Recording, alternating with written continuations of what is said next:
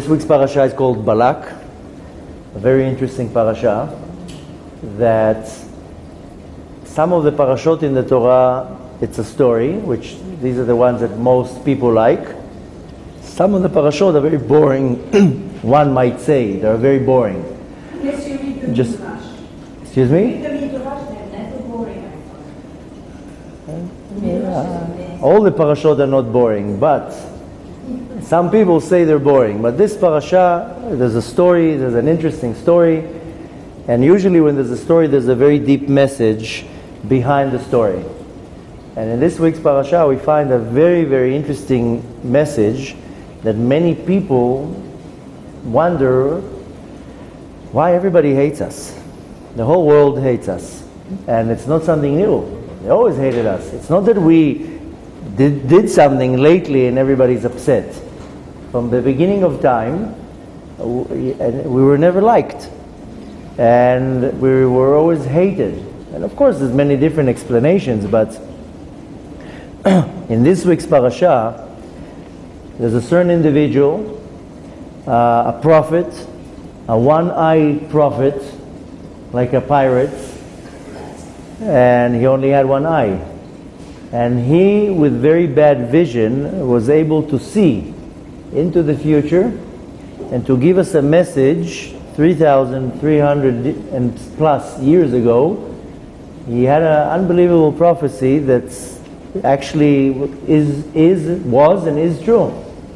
And when Bilam was approached by Balak, Balak was a king and the king of Moab, and he saw the nations of Israel approaching his country, and he saw how they went into war with many nations and they destroyed them. He started wa- warring. He's like, I'm next. Now, if they were able to fight Amalek and many other big countries bigger than me, they're going to destroy me. So he started becoming very worried. So he says, okay, how are we going to win them? He started asking around, and happened to be that Moshe Rabbeinu grew up in Midian, because when Moshe Rabbeinu ran away from Paro, he went to Midian, so they knew him. So when he asked, what is this, what is the power of this leader? Why is he so powerful? Then they told him his power is in his mouth. He has a very powerful mouth. And if you want to win him, you need somebody that knows how to overpower him with his mouth. So they went to Bilam. Bilam was a very big prophet. And he told them, Yeah, you can win them. You can fight them. And he thought he can maybe win them with cursing them. When Bilam saw he cannot curse the Jews, so he says, Listen, I'm very sorry to tell you. I'm here standing on the mountain looking at them, and I can't even curse them because their God is protecting them in such a way that I, can, I can't even curse them. Later on, he gave him a solution. He saw that he can't do the job. He just told him, Listen, just uh, take a few young girls, send, the, send them over, they'll do the job. A big prophet like Bilam couldn't do the job, so he said, just send a few young teenager, two teenager girls and all the young girls to seduce the, the to their men, they'll make them fail. And that's really what happened at the end. But Bilam, when he saw he can't curse, he, he literally said, their God is protecting them. And then he said one sentence which was a prophecy that obviously was fulfilled. And the prophecy, he said, Hen am levadad yishkon, uvagoim lo et chashav. Basically saying, this nation is going to be by themselves. Levadad yishkon. The levadad means boded, uh, by themselves. Yishkon means they will dwell. Lo et chashav. And the nations are not going to uh, count them as anything. They're not going to see any value to them. And sure enough, after 3,300 and plus years, the prophecy was right. We were always by ourselves. We were always separated from the nations. We were always small in, in quantity, but we were always, in many different ways, separated to a point that we were always hated. Now, on this pasuk, there are two interpretations or commentaries. The first commentary is by the Ramban, And he has a harsh commentary. He says this nation is going to be always by themselves. They're going to be lonely. They're going to be prosecuted and chased and hated. They're going to be by themselves. Nobody's ever going to come to their rescue. And not only that, they're going to always have to worry for to themselves. I mean, even now, maybe now, in the last couple decades, we see some countries are, are on our side. We have some allies that pretended to come to our help when we really needed them. But really, even if you look at history, go 40 years ago to the two big wars that we had, you think somebody came to help us? You think in the Six Day War or the Yom Kippur or somebody came to help us? Nobody came to do anything. They were from far away saying, yeah, yeah, yeah. My father was a, a what, what not was, is a general. He was in all the arm, uh, wars in Israel. And he told me in Yom, the Yom Kippur War, when we were attacked by four armies, you think somebody came to save us? You think anybody came to help? Even the Americans didn't come to help. Not only that they didn't come to help, they didn't even send us ammunition. We were running out of ammunition. We were literally counting bullets because we didn't have ammunition. And you think somebody came, forget about to fight with us. In uh, the Yom Kippur War, my father was a colonel and operating in the southern part of Israel, fighting Egypt, which was a massive, massive army. And forget about the casualties and, and, and the loss of lives. He's like, we didn't have anything. We literally were stuck without ammunition, without nothing. We couldn't even, nobody came to fight. The Russians came and helped the Egyptians to fight. Literally, Russian soldiers were fighting with the Egyptians. We didn't have anybody. And when the, the belt was already choking us to a point that it was, that's it, we're almost losing the war, then the decision was that that's it, we're going to have to use a nuclear bomb. And the second that the security cabinet put on the, the table the option, we have no option. We have to use a nuclear bomb. If not, we're going to be completely destroyed. Then everybody was like, oh, no, no, no, no, don't press the button and we'll help you a little bit. So only when the, the, the, the, the government decided, okay, we have no option but to use nukes, that's when the American government says, okay, don't, don't nuke, here we'll send you some ammunition. It didn't even come to help, they just said, we'll send you some ammunition. So really, even though we are members of the United Nations, I don't know if you ever noticed, 80% of the votes in the United Nations are against Israel. They're only talking about Israel. They're not talking about the genocide in, in Turkey, in, in the Holocaust in Syria. That there, nobody's talking about. They're talking about because a policeman uh, arrests a kid that throws stones or because somebody built a veranda in Yerushalayim. So really we, we don't have any friends. The world is pretending to be our friend. But really, nobody's our, our allies and nobody's our friend.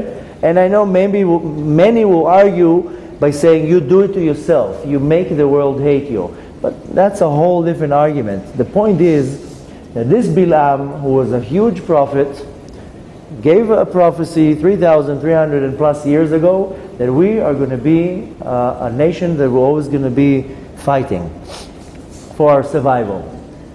Now the Ramban says, yeah, this is uh, what he meant is we're going to be lonely. Lonely, not that we're going to be uh, uh by uh, necessarily lonely by ourselves, but we're never going to have anybody by our side. We're constantly going to have to take care of ourselves. Nobody will ever come to our rescue, nobody will come to save us. And that's our destiny. To a point, I heard like a very harsh uh, commentary about a certain parasha in the Torah, but it's kind of funny and makes sense that nobody ever cared about us as a nation. And if you remember in Parashat Vayishlach, there was a story when Shimon and Levi, they went to revenge the act that was done to their sister Dinah. She was raped. So they went into the city of Shechem and they killed everybody. So there's all sorts of questions like how did even Yaakov allow such a thing? How would such a thing happen? First of all, there were two little kids. You know, Levi was only 13 years old. And they went in and killed all the, the men in the city. So one of the ways how they did that is they circumcised all the men. So they went in and they said, okay, you want to take our sister? No problem, you all have to circumcise yourself. And on the third day, when they were all healing, that's when they went into the city and killed everybody. So one might say, okay, it was a tactic to make them weak because they couldn't fight back. So there's an argument on that. Okay, so why circumcise? Tell them fast for a week. Why do you have to circumcise yourself? You want to make them weak? Tell them our condition. You want our sister, our condition, fast for a week. Well, there's many other ways to make them tired. Why circumcise them?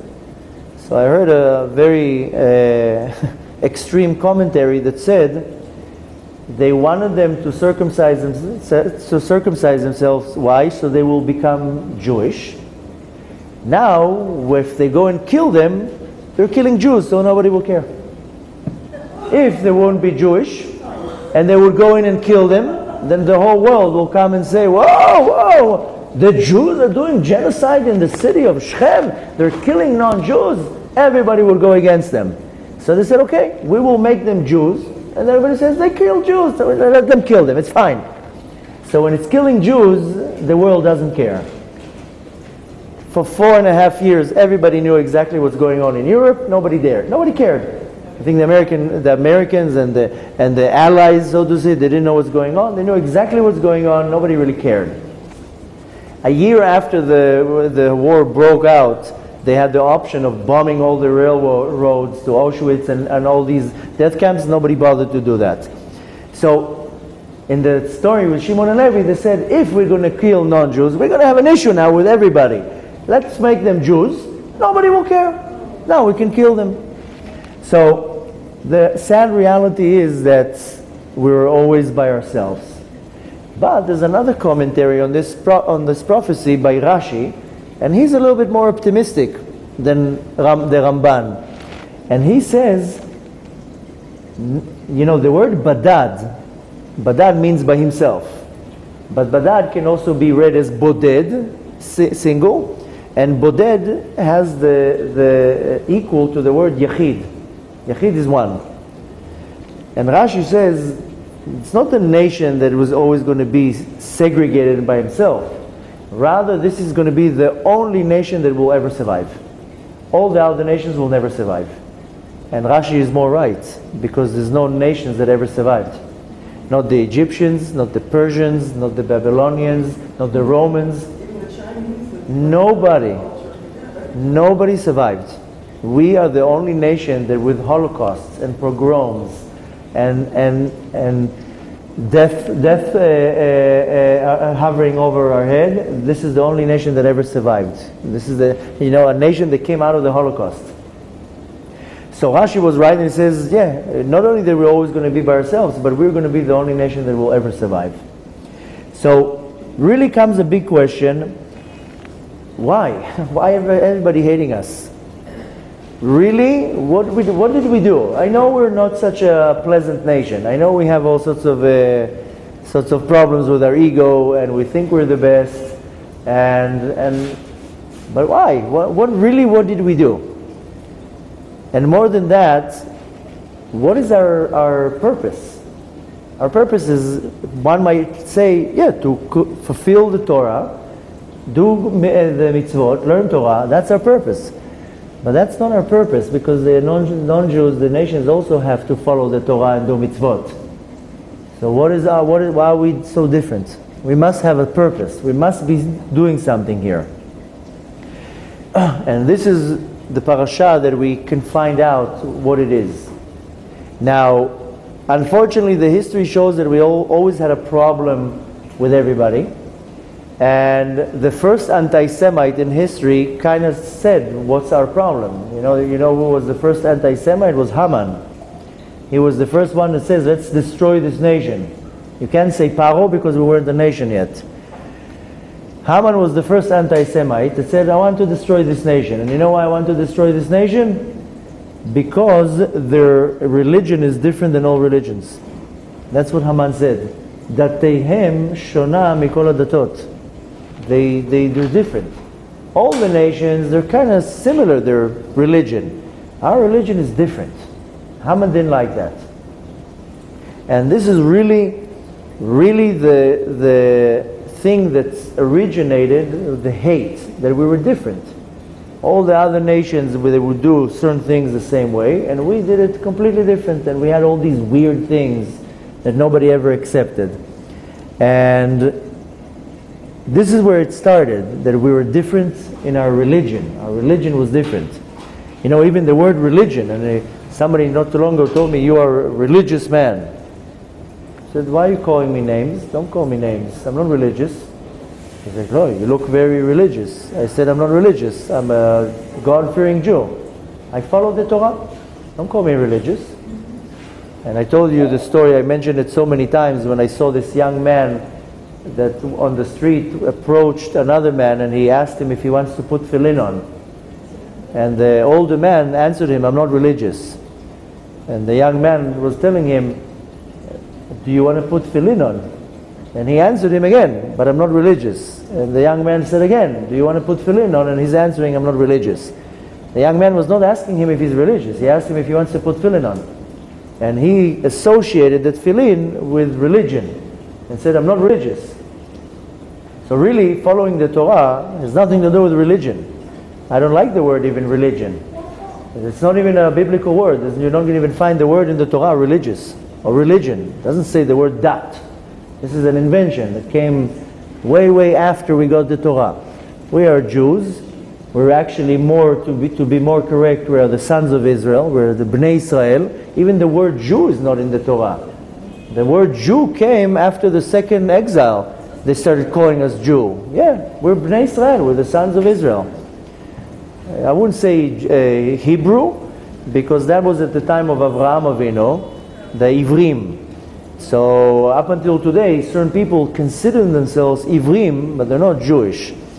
But the thing is that the first anti-Semite, Haman yimach shemo, he didn't like the fact that our religion is different. So the thing is that we want to know why everybody hates us, and more than that, how can I change that? I don't want to be hated. I travel all the time. When I, you know, walk around airports, I see everybody looking at me, and I see the hate. And unfortunately, half of them they hate me because they don't even know why they hate me. They hate me because they told them Jews drink the blood of, of, of non-Jews and all sorts of myths and all sorts of things. And you know, believe it or not, even in North America you'll still find it in different states. Somebody once met me and they, eh, they told me, Are you Jewish? Are you a Jew? and it was in Virginia, and I was like, yeah. And and they were like, but where's your horns? And I was like, my horns. My horns are at home on my bookshelf where I blow them on Rosh Hashanah. Yeah, yeah, to buy to hide to hide the horns. So unfortunately, it's just a misconception. now, this is a whole different uh, thing which is off the topic, but unfortunately, a big part of the hate that is towards us is because of us. And we create this hate. This is a different problem, but this is off the subject. But really, most of the people hate us, and it's not a problem with a self image. It's not that I have a low self esteem. That's the reality. Most of the world do hate the Jews, which I believe that very easily half of it can be corrected like that with the right uh, approach and the right attitude and the right uh, uh, way of presenting who we are. I mean, unfortunately, a lot of the Jews they make they they create this hate, and it's very very bad. It's actually something that bothered me from the first day that I became observant. That most of the observant Jews in the diaspora they behave in such a disgusting way towards the non-Jews that it creates hate and and it's wrong, and it's mamash chilul Hashem. It's desecrating the name of Hashem, and I unfortunately I didn't see a lot of religious Jews that behave nice towards the non-Jews, and that also creates hate. So I would say that easily 50% of the hate towards us is done because of us. We're just not behaving nice. Needless to say, how Israelis behave outside of the country. That is a disgrace. I told you, now when I went to England, I saw this unbelievable thing. The, the plane had a bumper sticker. I was going on the plane, and, and it had a sticker on the plane. You know, the, the, the, how do you call it? The terminal, but it has like this, the arm where you go onto the plane. It covers a little bit the plane, but you see a little bit around the plane. And it had a sticker. I never saw such a thing.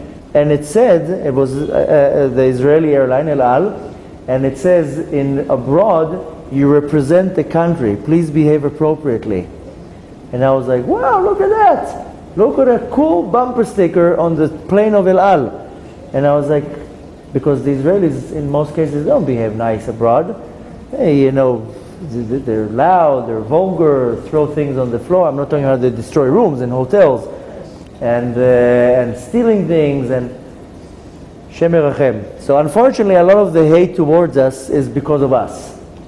And it's up to us to change it. But there is another type of hate that we don't understand why. And this hate came down when we got the Torah. The mountain that we received the Torah is called Mount Sinai, Har Sinai. Why? Because hate came down to the world. And the hate came down to the world because we're not doing something right. And, and in this parasha, it's actually pointing it out. So we want to know A, why is everybody hating us? And B, what we can do to solve it. And more than that, I want to understand what is my purpose in life. My purpose is not necessarily to fulfill the mitzvahs and to learn Torah. That's my way of life. But also the non-Jews have to follow the Torah and they have mitzvot. So therefore we're not different. Now, interestingly, the hint that we find that makes us a separated nation is that the prophecy, the word goes, Hen am uh. Hen. Hen is a very weird word. It's not even a word. It doesn't have much of a meaning. Hen am. Now the word hen, which is really not a word. You don't use this word for any type of context, but it has the letter hey and it has the letter nun. These letters are called otiyot shelom mitkamtzot. The letters that cannot find a, a, a partner. Now, if you take the letters Aleph till Yud, each letter has a numerical value. Aleph is 1, Bet is 2, right? Gimel is 3, till Yud, Yud is 10.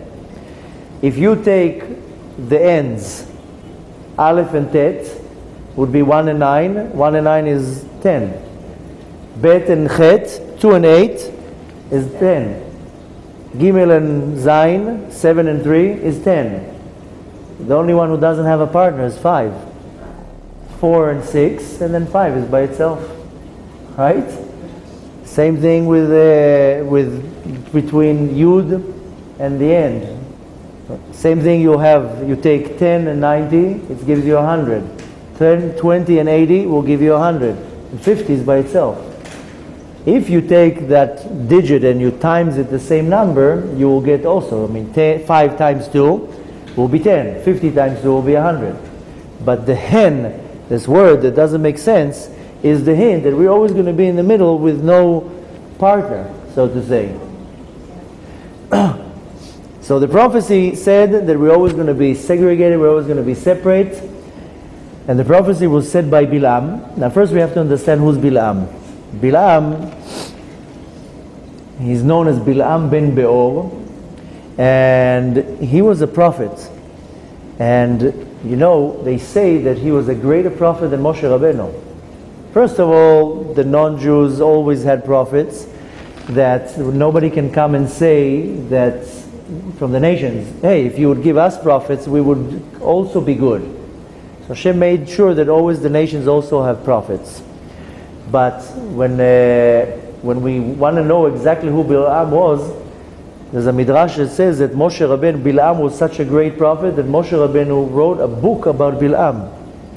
That there's a six book that Moshe wrote. I mean, we have the five books of Moses, but one there's actually six books. That one book Moshe Rabbeinu wrote about Bilam. And Bilam was a very, very big prophet. It says about Moshe Rabbeinu, "V'lokam od navi b'Yisrael ke Moshe." when they ask a question, why do you say Be'Israel? Say, lo kam navi ke Moshe. There was never a prophet like, the, like Moshe. Why you have to add the word Be'Israel? So the commentary, uh, you can find it in the Midrash where that is called Sifri. He says, yeah, Be'Israel. But out of Israel, there's greater prophets. And we learn from that that Bilam was a greater prophet than Moshe Rabbeinu. Be'Israel, in the nation of Israel, nobody, no kam navi Moshe. There, there was never a greater prophet than Moshe. But out of the nation of Israel, yeah, there was a greater prophet, and that was Bilam. Shlomo HaMelech says, "Zelu leumat ze bara Elokim." Hashem created everything with an opposition, with something that is equal to it. And in order to make the world equal, it wouldn't be fair if on the positive side it will be more powerful than the negative side. In order for it to be equal, has to be what's called zelu leumat one across the other. So the leumat of Moshe Rabbeinu is Bilam. As great as Moshe Rabbeinu was, not only as a prophet, he got us out of Egypt. He brought us the Torah. He spoke to Hashem face to face. Bilam was in that level. So some will argue that, that Bilam was a greater prophet than Moshe Rabbeinu. Some will say no, he was just as good. But Bilam was a pretty serious prophet. Now, we first learn about Bilam in the parasha that is called Shmot, when Paro saw that something is uh, changing. He gave only 70 visas to Yaakov and his family. He only issued 70 green cards. He's, he's like, I didn't give green cards to millions of people. I only allowed these 70 people to come into my country because of Yosef. I only issued 70 green cards. And a few hundred years later, suddenly there are millions. And, more, and Paro says, listen, we're going to have a problem here. They're multiplying here like, like uh, in, in huge numbers. What's going to be very soon if they're going to go against us? They're going to become uh, enemy. What should we do? So Paro had three advisors: Yitro, Eyov, and Bilam. And each one of these advisors said something. Yitro said, "Listen, don't mess with them. Don't mess with them. Anyone who messed with them suffered. Your great great great grandfather that tried to mess with Sarah, he, he got punished. So learn, don't mess with this nation. When Avimelech also tried to mess a little bit with Avram Avinu, there was a problem. When Avram Avinu went to Mitzrayim and they took Sarah, don't mess with him. So Yitro was a mensch, and he told him, I I suggest to you, being your advisor, don't do anything. Therefore, later on, Yitro had the merit to convert. Needless to say that later on he had the merit that he became the father-in-law of Moshe Rabbeinu. But he later on had the merit to convert, and more than that, his, his generations became very, very special. They sat in the Beit HaMikdash, in Lishkat HaGazit. He got a very strong lineage. The other advisor, who was Eyov, who was known as Job, he didn't say anything. He was neutral, parv, like in the United Nations. One of them, you know, they don't say anything. So, and he got punished severely. He had to go through a life full of Yisurim. And the third advisor was Bilam. And Bilam said, make them slaves. Because you are afraid of them multiplying. You don't want them to become a big nation. Make them slaves and they're not going to have any energy to procreate. They're going to come home at 12 o'clock at night. You think they'll want to be with their wife? They'll just want to go to sleep. Make them slaves. That was the advice of Bilam. Therefore, later on, his, his, his uh, punishment was penalty of death. They killed him. Bnei Israel, they killed, killed, him, uh, killed him in the war. So, another question that comes is where does Bilam have the power to curse? I mean, after all, he he was a prophet, but how did he know how to curse? How did he know how to use his mouth? That's a pretty severe thing. So the Gemara in the tractate of Sanhedrin explains that Bilam knew exactly the moments in the universe. And every second in the universe is a different energy. There's a story about the Baal HaTanya that when he was in jail, you know the story, he was in jail for spreading Hasidut, and while he was in jail, he had a personal visit by the Baal Shem Tov and the Magid from Azrij that came to his uh, cell. Later on, when they checked the cell, they found that three people cannot even be in the size of the cell. But the story says that the king at the time uh, heard about the power of this man. Uh, they told him this is not a simple individual. So he said, I want to test really his powers and I want to meet him. So he suggested turn the light off in his room, in his cell.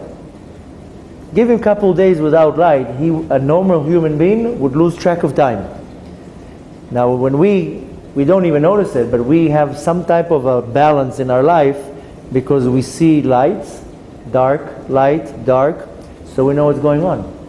Take a person, put him in a dark room for three, four days, he would lose track of time. He won't, he won't know what time it is.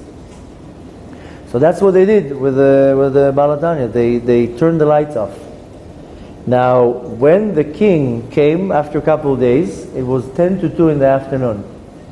So as he opens the door, the Baal HaTanya stands up because there is a halacha that you have to stand in front of a king. It doesn't matter who the king is, even if he's a wicked king, you still have to stand. So, and more than that, there's a certain bracha that you say when you see a king. So the king told him, well, how come you stood up? And what is this sentence that you said? So he answered him, you have, we have to stand in front of a king. And the sentence that I said is a certain blessing that you say in front of a king. So he told him, how do you know I'm a king? You don't know me. There's no newspapers. There's no internet. How do you know how the king looks? How do you know who I am even? So he told him, every person in the world has a minister in the heavens trillions of angels. For every person, there's one angel. But when a very special person, a minister or a king or a general, there's a very special minister in Shamayim. When you walked in, I was able to see the minister that escorts you. And I saw that it's a very serious angel. I understood you are a king. So he tells him, Why aren't you sleeping? It's 10 to 2 at night. So he says, No, it's not. It's 10 to 2 in the afternoon. So he tells him, How do you know what time is it? So he says, Every moment in the universe has a certain energy. And every hour of the day has a certain power, a certain combination of the words of the, of the word of the name of Hashem, Yud Kei. There are 24 combinations how you can switch the letters around. And every hour of the day, there's a different combination in the name of Hashem of Yud Kei. And I saw, I know, I can see the combination. This is what's called, it's called tziruf otiyot. I don't know if combination is the right word, but, com- but combining the words in a different order. And he says, I see the tziruf otiyot of Yud Kei Vav, I know what time it is. Of course, the, he understood very, very quickly, this is not a simple person, this is not a regular individual. But the point is that Bilam knew those times he, he had some type of a Ruach HaKodesh. This is brought down in the tractate Sanhedrin in the Talmud, that that's how he knew. He knew what's called itim, the moments of the day, and he knew when is the moment when Hashem is a little bit upset. A, that the attribute of judgment is in the most powerful, what's called midat hadin, because every second of the day there's a different midah that is more empowered. And there's a certain hour of the day that midat hadin, the attribute of judgment, is the most, most severe. And this is the most, most harsh time of the day. Now, he knew that. Not only that, he knew when we're kind of upsetting Hashem, and he knew when Hashem is a little bit upset. Now, not that Hashem is moody, and sometimes he's upset and sometimes he's happy. But Hashem is operating through his midot, through his attributes, and he knew exactly when is the sensitive time to to come and put a prosecution. It's like, you know, my kids, I'm sure it's like this in every household, but my kids are normal kids, Baruch Hashem, and kids, they, they, uh, they tattletale. That's how you say, tattletale? They snitch. And when one kid is about to get in trouble, his uh, system to to get out of trouble is to say, but the other one also did this and that. like as if, oh, because the other one is also wrong, then I'm going to give more mercy to you.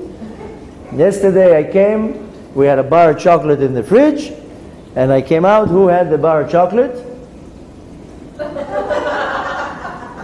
Everybody's looking for stars. Suddenly they're looking for the cobwebs on the wall. So I, I right away see who took the chocolate. So I approached the one, I told him, why did you take the chocolate? But you know, the other one took yesterday from, from the cake. I didn't ask you what the other one do. It's not an interrogation. I asked you why you took it. So the little kids, they try to get their way out by pointing a finger at somebody else. So, and this is not only kids, by the way, also adults, they get in trouble, they, to get the, the spotlight off of them, they point on somebody else. so, so, so Bilam, Bilam knew when to put a prosecution on. To say, oh, look, they did something. He knew when is the right time when Hashem is not 100% happy. So going back to the analogy with my kids, if two of the kids fight, Baruch Hashem, my kids are normal, they fight. They're normal kids. They, some people tell me, oh, my kids are such good kids, they never fight. I tell them, they're not good. Something's not normal if they don't fight. so you should be worried. The good kids, normal kids, they fight, they argue, they, they, they don't like each other. That's normal kids. If your kids don't fight, you, something's wrong with them. It's too much Ritalin. You got to get them off the Ritalin if they don't fight. So, so my kids know that if they fight or something, they know when I'm not in the best mood, so to say, to come and say something about the other one. They'll wait for the right moment to say, oh, Abba's now a little bit upset, even though I don't get upset. But they know the right moments, when is a good time to, to say something about the other kid. Or, on the positive note, they know when to come and ask for money, when to ask for the big, the expensive present. So they know that will be a eit ratzon, an auspicious time to come and say, you know, my birthday is in a month, and I really want this a very expensive present. So kids are very sensitive. They know when is the good time to approach the parent and when is the bad time to approach the parent. Same thing was Bilam. Bilam know when is the right time to approach Hashem and to put a prosecution. So it's not that he had special powers to curse. Rather, he knew when is the right time. This is what the, the Talmud explains to us. And the point is that he found that he can't really curse us. Hashem manipulated it in such a way that he couldn't curse us. So his solution, like I told you, he told, send the girls, dress them in miniskirts, they, they'll, they'll and make a big cleavage, and send them to seduce the boys. That's where they're going to fail. They're not going to be able to, to hold the temptation. And that's what happened. And next week we're going to read about it, that the, the head, the president, the Nasi of one of the tribes, failed with a, a girl from Midian to a point that uh, there had to be a first legal biblical murder. We're going to learn about it next week, about Pinchas. I mean, it's all starting in this parasha, but it's, it actually, it's actually happening in this parasha, but next week we're going to talk about it, even though it has to do with this parasha. But that's, that's what was the solution at the end. So now we, we come back to the question why the nations hate us. Has to be something that is igniting their hate. And we have to prevent that. We have to stop that.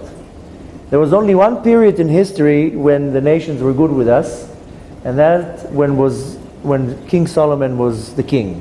When Shlomo HaMelech built Bet HaMikdash, one of the many reasons why his name is Shlomo is because Shlomo comes from the word shalom, peace.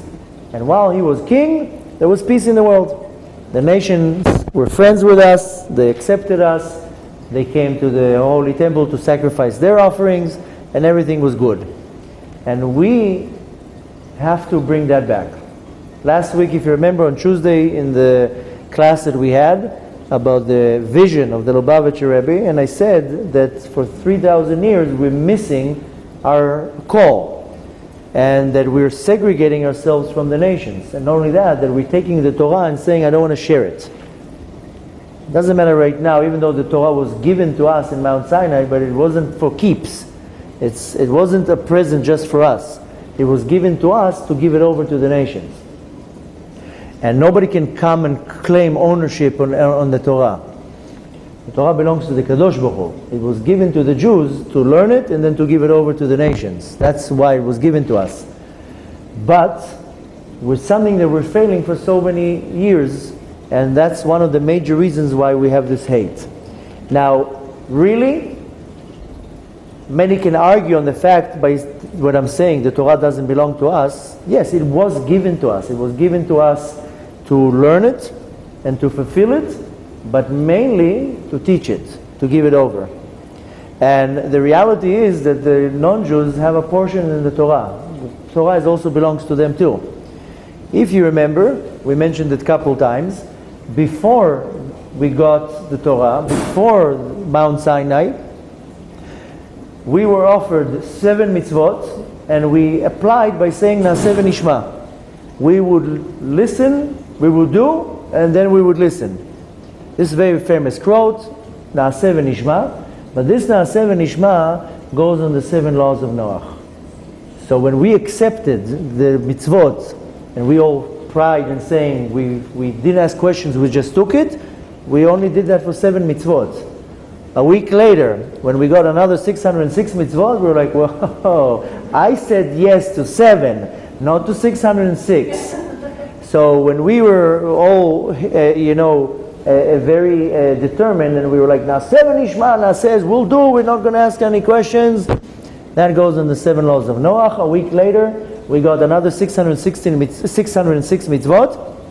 And then we were like, okay, we're not 100% sure that we want them.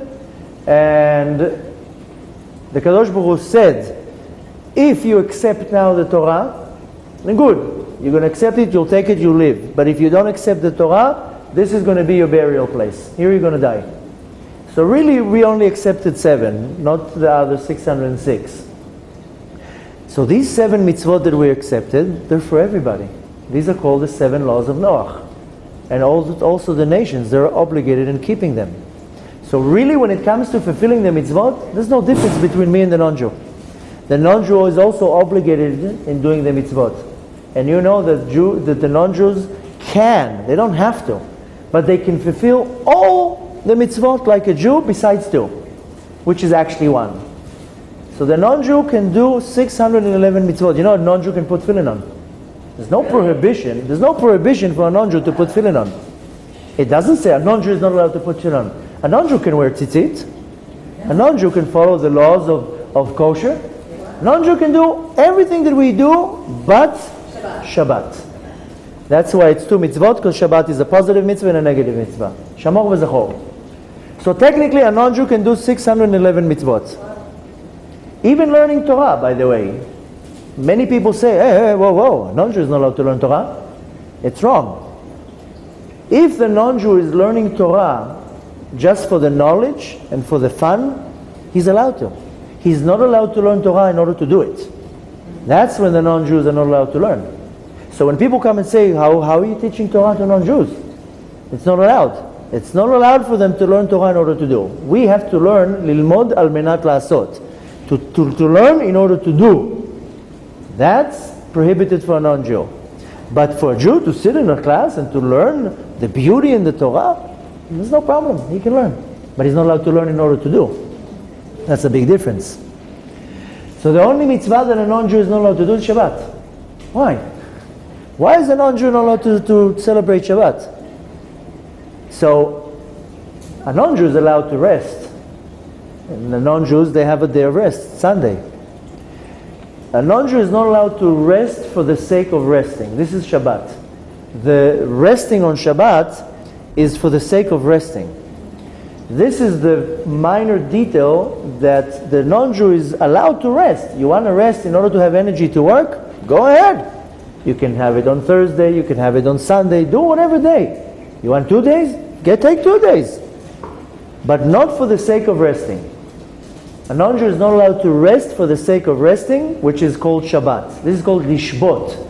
On Shabbat, we rest for the sake of resting, not because I'm tired. So, we even know that there were periods in history that there were pillars in our, our nation, they were very good friends with non-Jews. You know that Rebbe, Yehudi, uh, Rabbi Yehuda Nasi, he's known as Rebbe. You don't call him by his name. But he's Rabbi Yehuda Nasi, he's the, the, the sage that compiled the oral Torah, the Mishnah. One of his best friends was An- An- Antitos, Antino, Antinin, Ant- Antininus, who was a, a Caesar. They were best friends. And not only they were best friends, you know, they were born on the same day and on the same hour. And they were good friends. And the story, there's a story in the in the in the Talmud, in Tractate Shabbat, that says that one time he came to visit him on Shabbat. And Rebbe was very sad because he gave, couldn't give him food. They didn't have a blech, they didn't have a pot of chunt, and the food was cold. The fish was cold, everything was cold. And, and Antininus came to visit him on Shabbat, and he wanted to give him food, so everything that he gave him was cold. And uh, Rebbe was very, he wasn't so comfortable. Later on, Antino, uh, Antininus told him, one time when he invited him to, for a meal during the week, he said, you know, the food you gave me on Shabbat was much better. Better, it was cold. He says, no, you put some spice in it that made it taste amazing. What's the spice that you put in the food that you gave me? Even though it was cold, it was amazing. So Rabbi told him, this spice is called Shabbat. And this was food from Shabbat. So, we know in many times in history that there was a close relationship between a, a Jew and a non-Jew. And there's nothing wrong with having a good relationship with the nations. I have many friends. I have a very good friend. He's a non-Jew. He's a very good friend. I'm sorry to say that. He's much better than many other Jews that I met in everything. Charitable and kind and honest and polite and really very, very special man. So really, we don't have much difference between the non-Jews. To a point that they can fulfill the Torah, and actually they're actually obligated. They have to fulfill seven laws of Noah, which is actually 70 mitzvot. The only thing that is a non-Jew that is allowed, it's seven titles. But when you dissect the titles, then it is broken into about 70 mitzvot. If you want to really see, go on my website. The, the, I have one place I wrote like an article that it says the seven titles, but the subcategories of each title, you get to 70 mitzvot. So non-Jews, they, you know, they have to fill their part in the Torah. And the sad reality is that till they'll start doing it, we're, going, we're not going to have the redemption. The redemption is, is depending on the non-Jews too. That's what I spoke last Tuesday, that we can't say it's up to us. It is up to us, but it's also up to us to educate the non-Jews to do their part so they can also be part of the redemption. So, there is a question, why is a non-Jew not allowed to observe Shabbat? At the end of the day, we're not separate from, from the non-Jews. It says, Nivra in the image of God, man was created. The non-Jews are also created in the image of God. There's no difference. I'm not talking right now on the structure of the neshama. A non-Jew also has a nefesh and a ruach. We have a neshama, a and a chayatu. A non-Jew has a nefesh and a ruach. That's in the spiritual level the difference. But in the physical level, our bodies are identical. Even though my, one can argue, they find the DNA, the difference, whatever. No need to go into the small details here. But there is an argument, why is a non-Jew not allowed to observe Shabbat? And the, the, the, the Talmud is talking about it. And you can find it in the Tractate of Sanhedrin. And it says that the non-Jew is not a, the, the purpose of a non-Jew is to develop the world. This is the purpose of the non-Jew, to develop this world, to bring down wisdom into the world, to bring, uh, I mean, this is not the word that the, the Talmud is talking about, but in our terminology, to bring technology, to bring medicine, to bring wisdom into the world. This is the purpose of the non-Jew. Of the non-Jew. The non-Jew is here to develop the world.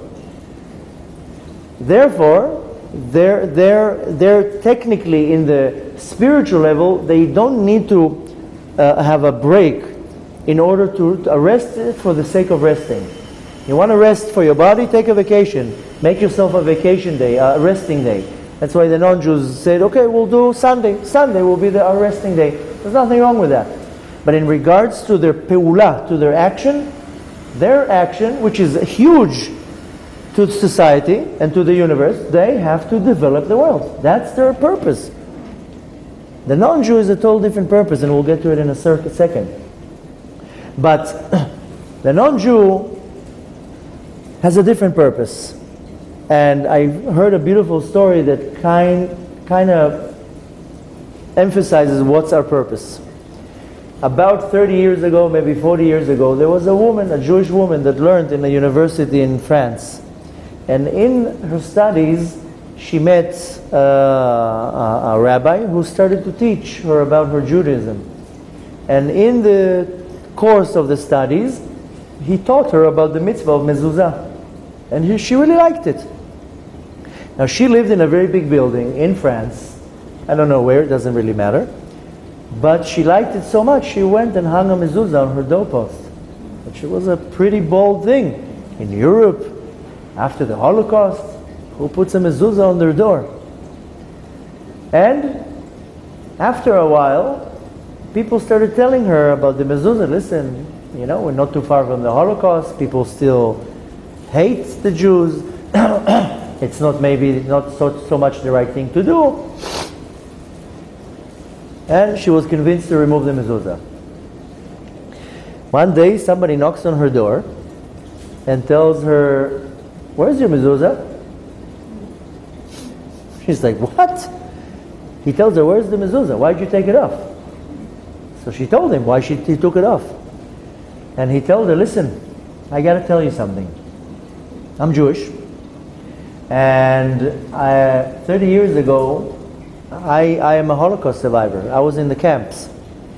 And after seeing my family brutally murdered in front of my eyes, and after going through the, the horrors in the Holocaust, I went, uh, uh, you know, uh, against Hashem. and I grew up uh, observant, by the way. But I went war with the Kadosh Baruch And I said, if he exists, then how dare he do something like that? And if he doesn't exist, and something like this can happen, so what, what am I worshipping? Something that doesn't exist? Therefore, I'm head to head. No God. And for 30 years, I live my life, there's no God. And if he is, does exist, I don't want to be part of him. So careful with the camera. Uh, you see, you just moved it. So, uh, and then he says that three weeks ago, the elevator was broken, and I had to walk up the stairs. And I'm walking up the stairs, and I find, suddenly come to the fourth floor, which I will never stop on the fourth floor. And you know what do I see? A mezuzah. And you know what it made for me? I remembered when I was a little kid, my mom used to pick me up to make me kiss the mezuzah. And I suddenly remembered my mom. And every time I went up, I suddenly remember something. And I remembered my father, that when he used to take me out of the synagogue, he would pick me up to kiss the mezuzah and pray to Hashem that I should be safe. And every time I would come up the stairs, I would see the mezuzah and I remembered one of my family, one of my family members. I know we need tissues. I also need a tissue. So, and he says that every time I would see the mezuzah, it would remind me one of my family members. And it finally reminded me that I'm a Jew. And there is a God. And now you took the mezuzah off? How dare you take this mezuzah off? This mezuzah is reminding me of, my, of that I'm a Jew. And needless to say that the mezuzah went back on the wall very fast. And when I heard the story, besides the tears, it made me realize our purpose as Jews is to advertise godliness in the world. This is our purpose. The purpose of a non-Jew is to develop the world, to bring wisdom into the world, to bring technology, to bring medicine, to, to do huge things, to, to, to, to create something in this world. This is the purpose of a non-Jew. Even though the Jewish mind, yes, we have many Nobel Prizes, and we have many big uh, inventions came from Jews, fine. But it's the power and the purpose of the non-Jew to develop and to bring prosperity and wisdom and, and great inventions into the world. The Jews' purpose is to publicize there's a God in the world. That's it. This is our purpose. Not to learn Torah, not to fulfill the mitzvahs. I'm not chas v'shalom telling you not to learn Torah or not to fulfill mitzvahs. We have to because that's how we advertise, hello, there's a God in the world. Somebody created the world. That's our purpose. And since we are failing in our purpose, that's why the nations hate us. Because they're looking up to us and we're not fulfilling our part of the deal. They're fulfilling their purpose. They're creating beautiful things, technology, computers, satellites, rockets, whatever it is.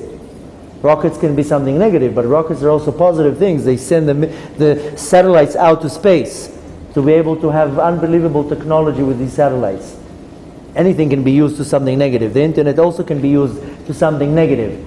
But on the other hand, it can use to something beyond positive. I can sit here and learn Torah, and you know how many thousands of people watching the classes? Thousands. Thousands. Rabbi Akiva didn't have such a, a following. Can you imagine if Rabbi Akiva had a Facebook page? He would have thousands of followers. Rabbi Shimon Bar Yochai didn't have a YouTube channel. And I'm a simple person, and I have thousands of people watching my Torah from the power of the internet.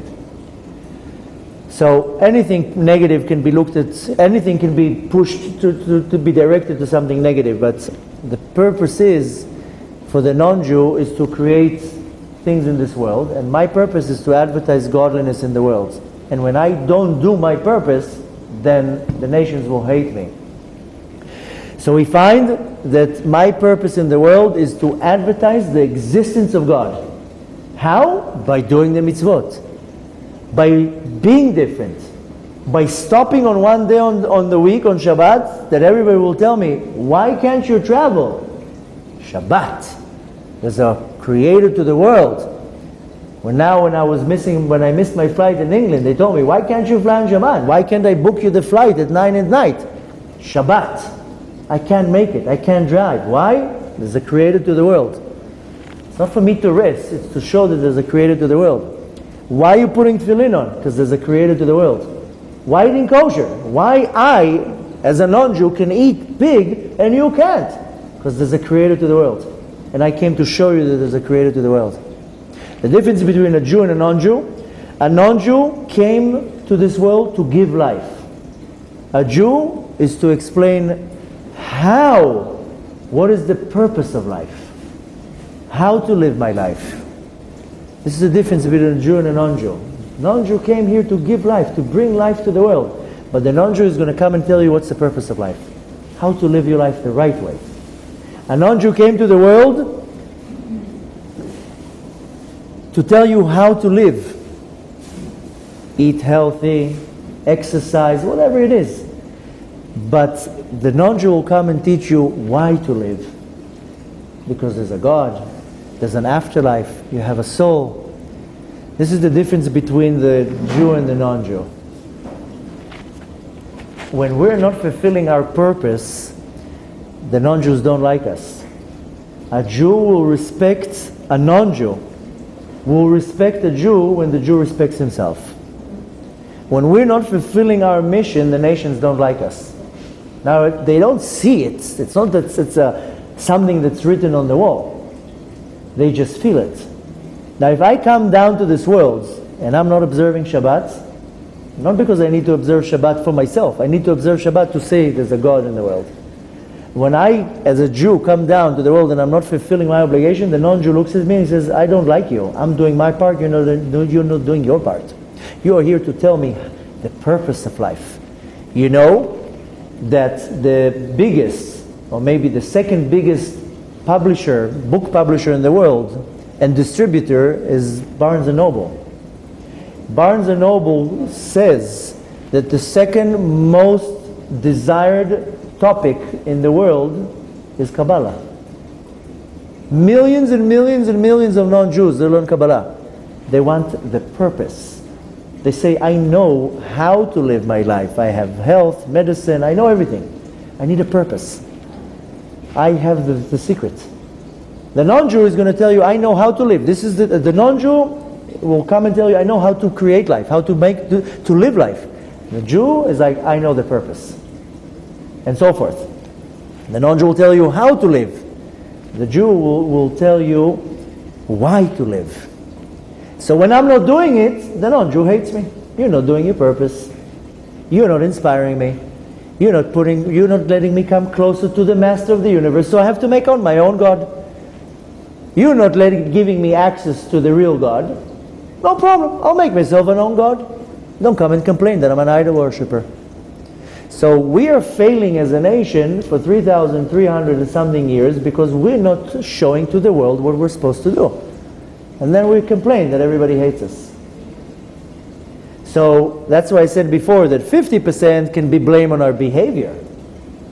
I mean, I used to live in America, how the religious people treat the non-Jewish people, there's a disgrace. A disgrace. It's, it's, it's embarrassing. I would walk in religious neighborhood and I would be embarrassed how my brothers and sisters are behaving.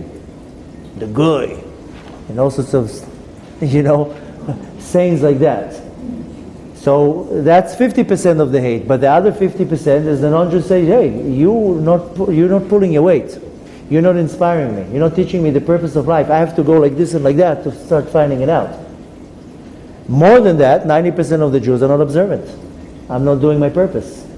I'm not eating kosher, I'm not observing Shabbat, I'm not keeping the laws of family purity, and so forth. The non-Jew is saying, hey, you're not doing your job.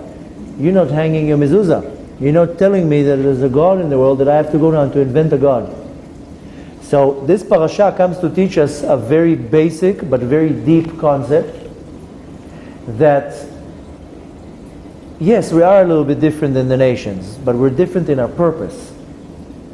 Spiritually we're different, but we can't look at ourselves as different that we're better, that we're superior, when it says the, the chosen nation, it's not because we have nicer eyes. We were chosen to inspire the rest of the nations. We were selected by Hashem. You should be for me a nations of priests, holy people that show the world spirituality, and goy kadosh. Goy is a body. That's the, the translation of the word goy. Goy is a body. That's why why the why Goy, Goy is a body. I explained to you many times that Adam Arishon, Adam, was an neshama, was a soul, it wasn't a body. All the souls of all the world, Jews and non-Jews, came from the soul of Adam Arishon. The souls of the Jews came from his head. That's where we call the Bnei Israel. Israel, Israel, if you switch the letters around, is Li Rosh. Li Rosh is my head. And the non-Jews, we call them Goyim because a body in Hebrew is Gviyah. This is a corpse, a body is Gvia. So Goy is a body. So Hashem says, you will be a nations of priests, the Goy Kadosh, a holy body. How are you going to make yourself holy? Don't eat these types of animals. And go and bathe in a mikveh. And do this and do that. Your body will be holy. So,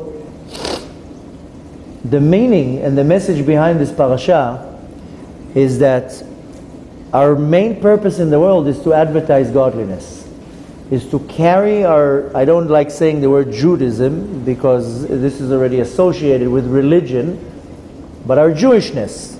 We'll use the word Judaism just for the sake of the example. We have to carry our Judaism proudly. And now I know it's much easier in Israel to put a mezuzah, but in, even outside of Israel. I mean, now it's a little bit easier. But you know what? I was now in London I'm walking on the street to go into a lecture. A guy comes to me and he's like, Hey, I remember you, I remember you. You gave a lecture in Ra'anana a few months ago. And I'm like, Yeah. And he's like, Ah, what are you doing here? I told him, I'm walking to this shul now. I'm going to give a lecture. I told him, Why don't you come? He's like, Okay, I, you know, Hashgacha Pratit, I'm going to come. I liked your lecture then, I'm going to walk in. And then he tells me, And look, I even have my yarmulke in my pocket. And he pulls out his yarmulke. I told him, I told him, are you proud of the fact that your yarmulke is in the pocket? What do you mean? I even have my yarmulke in my pocket. Told him, why? You should be ashamed that your yarmulke is in the pocket. He's like, no, you know, everybody told me it's dangerous here in London, and uh, I don't want to walk with a yarmulke here to be noticed as a Jew. I told him, I'm very sorry to tell you, Mr. Goldstein, your nose is pretty Jewish. The yarmulke doesn't give in your Jewishness. You look like a Jew, I'm sorry to tell you.